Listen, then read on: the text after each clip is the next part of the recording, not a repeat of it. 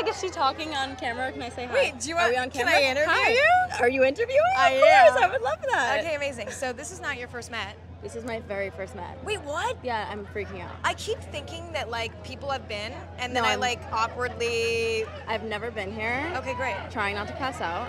I thought I was going to die in the car. Yeah, no, same. But we're here together. We're here. Like, don't you feel more comfortable now that you're here and you're it's, in it? it's a lot less intimidating than I thought it was gonna be. Also, everyone's just nice. So I feel good now that We're I'm here. great. I know. We're Tell me about it. this. So we really wanted to do something inspired by paying homage to Marilyn Monroe and um, specifically her orange gown she wears in Gentlemen Prefer Blondes is like my favorite gown of all time and I really wanted someone who was going to be able to do it exactly how I envisioned it. So we went with um, Patricia Voto who's incredible. She's the owner and designer of One Of, which is a really special brand. She makes one of a kind pieces. Once the archive fabric is gone, it's never going to happen again. And I'm shaking and we're at the Met Gala. and What's I know, going on? I know, but that's also like you explain that with like the most ease ever. Did I? Oh gosh, thank you. If I tried to explain my dress right now, like I yeah, would just this start is like Lu- this is Louis Vuitton, correct? this is Louis Vuitton. stunning. I love this. Like this is my favorite color. You look Thank incredible. Thank- I love you. I love you. Have the best time. I'll see you I'm in so there. proud of you.